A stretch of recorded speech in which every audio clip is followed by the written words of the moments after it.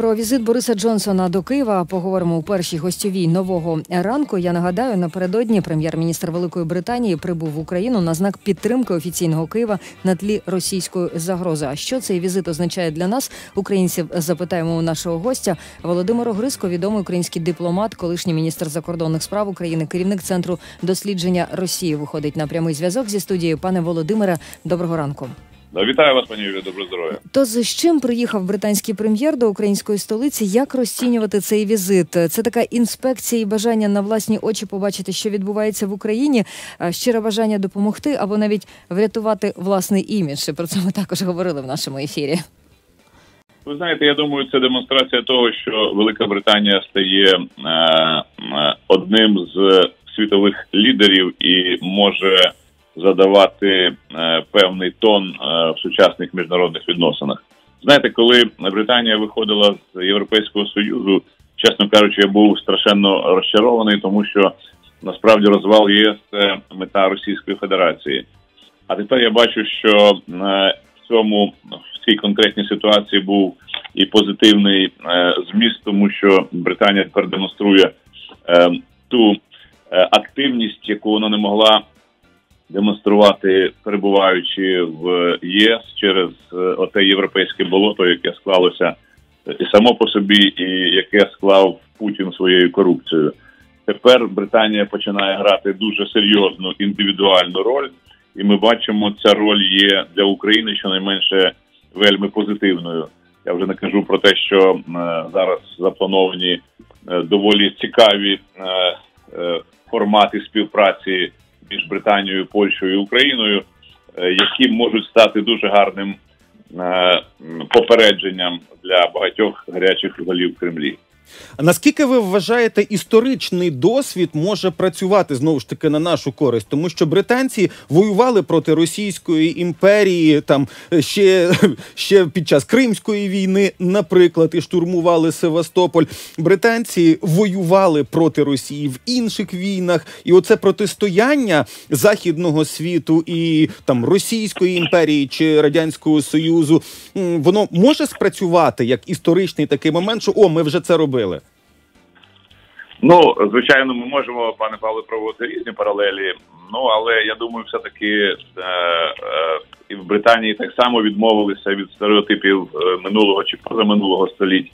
І Британія сьогодні це справді зразок е, демократії, не без не без проблем, як як і в будь-чому, звісно, але позитивно. Тому я думаю, що е, головне, що е, сьогодні можна сказати про Британію, що це один з форпостів е, справді цивілізованого світу і демократії. А відтак співробітництво з такою країною. А нам, слава Богу, треба дякувати е, всім святим, що таке співробітництво іде лише по висхідній, і у нас немає жодних проблем. Е, це велика великий подарунок для України. Я дуже сподіваюся, що наша влада ним скористається. Перед поїздкою до Києва Джонсон обіцяв поговорити. Ну принаймні це анонсувалося із президентом Російської Федерації Путіним телефоном. Потім цю розмову відмінили. Що для нас означає ця відміна? Наскільки це хороший знак? Ну, це означає, що е, спочатку е, е, Джонсон побуває в Києві і е, дасть певні сигнали і почує українську сторону, і потім йому буде, е, я думаю, е, комфортніше говорити з Путіним. Я думаю, що цей дзвінок не відмінений, а відтермінований. Тому я думаю, чим більше інформації він матиме тут. Хоча я думаю, що їхні е, джерела інформації і так доволі інтенсивно працюють і е, допомагають уряду Британії чітко орієнтуватися в ситуації, і саме тому ми отримуємо від Британії не лише політичну, але й серйозну е, військову допомогу. Отже, я думаю, що візит Джонсона до України дасть йому нові аргументи в розмові з Путіним.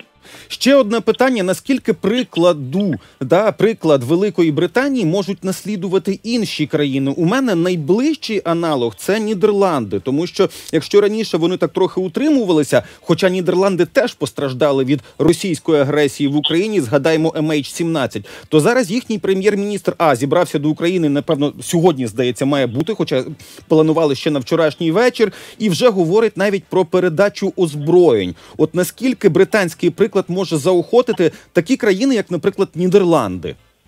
Ну і не тільки Нідерланди. Візьміть е, дуже е, позитивні зміни, які ми зараз бачимо на прикладі Чехії. Попри те, що е, там є е, очевидний московський крот в особі цілого президента, але поза тим йому нічого не вдається, тому що чеський уряд так само чітко і ясно демонструє е, свою прихильність Україні і е, допомозі. Те ж саме можна сказати і про Нідерланди, про які ви згадали.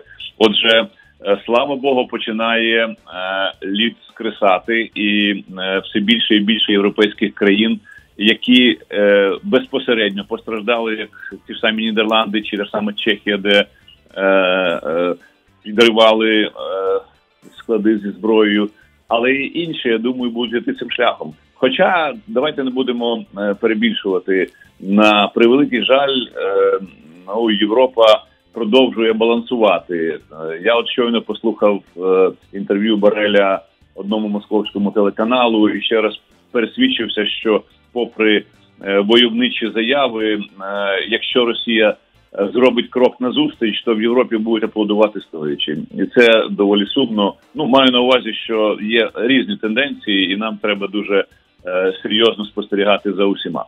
Давайте все таки на оптимістичній ноті сьогоднішні наші розмови спробуємо завершити новий формат співпраці Києва, Лондона та Варшави. Е, Його оголошення поки відклали через хвороби е, голови Міністерства закордонних справ Великої Британії. Але що відомо про цей новий формат вже сьогодні?